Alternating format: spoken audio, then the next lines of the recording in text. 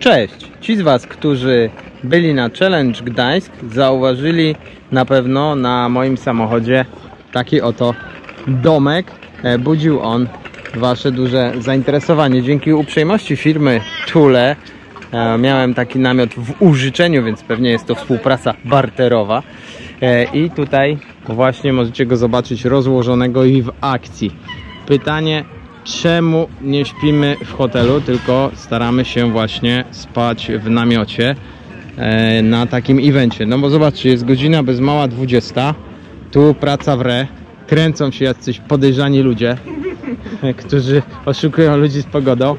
Robimy jakieś rowery do startu. Zanim skończymy, zrobi się 21 albo 22, a trzeba tu być z powrotem na 6, jak będzie się otwierać znowu strefa zmian. To jak łatwo policzyć, zostaje jakieś 7 godzin. Jak od tego odejmiemy jeszcze transfery do hotelu godzinkę i powrót godzinkę, to z 7 godzin spania zrobi się 5. A jeszcze w hotelu trzeba się rozlokować, coś tam, coś tam wyczekować, zrobi się 4, więc jest to generalnie bez sensu. Dlatego jest kombinowane spanie. I powiem Wam, że namiot dachowy jest to opcja i tutaj mamy właśnie namiot dachowy Tule. Jest 19.20, a tu do końca roboty jeszcze hektar. Jak widzicie, zabawa trwa w najlepsze. Jeszcze przez godzinę mogą się wstawiać do strefy zmian. Potem się trzeba spakować. To nie ma za dużo czasu na transfery do hotelu, a rano strefa otwarta jest od 6.30, czyli śpiąc w hotelu trzeba by stać pewnie jakieś 5, może 5 z minutami. Ja mam na dachu model Tool Approach M. Jest SK dwuosobowa za 12, MK za 15 dwu trzyosobowa. Powiem Wam, że na e, dwie osoby jest tu opór miejsca. W zasadzie możemy wejść na górę, bo akurat jest chwila luzu. I tutaj jest chyba 2,40 długości, 140 szerokości. Także naprawdę na dwie osoby super szeroko. Trzy osoby dorosłe to będzie chyba ciężko upchać, ale z jakimś dzieckiem pewnie dałoby się tu w trzy osoby e, położyć. Jest też jeszcze LK za 17 na 3, 4 osoby. Wymiary znajdziecie sobie na stronie Tula. Ja ten mm, namiot zamontowałem na szybkości na belkach. Te belki są montowane na punkty montażowe do dachu.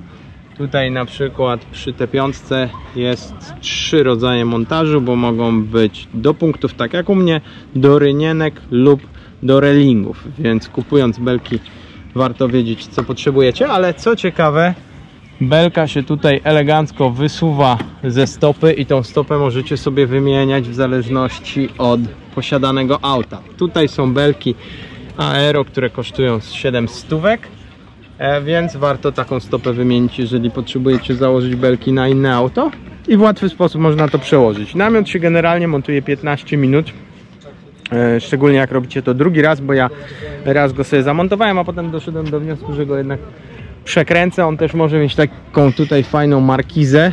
Dzisiaj jej nie dokładałem, bo było ryzyko, że będzie może jakiś wiatr czy burza. Nie chciałem, żeby to odleciało, ale nie było, więc może to sobie jutro rozstawię. Pokażę Wam tutaj na zdjęciu, jak wygląda. Jeszcze wracając do belek, to w ogóle są ciekawe, bo są i w kształcie aero i mają taki system, tutaj odkryłem, że łatwo się otwierają i wsuwa się mm, tutaj equipment do tej belki także e, naprawdę porządnie jest to wykonane. No to jest takie zakładanie po nocy. Widzę, że będziemy to jeszcze raz przekładać bo sobie belki założyłem tył naprzód. W sumie mogłem pomyśleć, że efekt skrzydła uzyskujemy jak powietrze będzie leciało w tą stronę. Szczególnie, że to się tak otwierało z przodu. To mnie akurat zastanowiło od strony technicznej no, ale wracając, generalnie montuje się to z 15 minut. 15 e, minut się zrzuca, także nie jest to wielkie wyzwanie.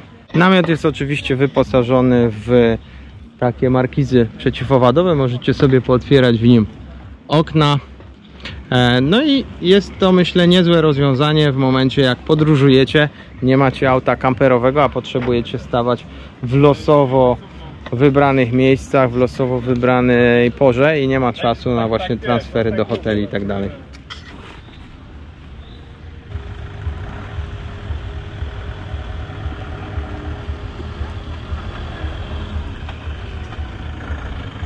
Jedno co warto wziąć pod uwagę jeżdżąc z namiotem to jeżeli go złożycie maksymalna prędkość wynosi 130 na godzinę i tutaj tego warto przestrzegać plus ale też wzrośnie Wam spalanie, także zasuwając takim namiotem będziecie palić trochę więcej. A ja już się z Wami żegnam i powracam do swoich obowiązków, bo trzeba ogarnąć takie tematy jak na przykład rozbity dzisiaj na zawodach S-Works właśnie czekający na pana, któremu zginął rower Cervelo i parę innych tematów, a jutro o 6 rano pobudka, nie no, pobudka przed 6, bo o 6 już gotowość bojowa. Dzięki za obejrzenie tego wideo, do zobaczenia w kolejnych odcinkach, heja!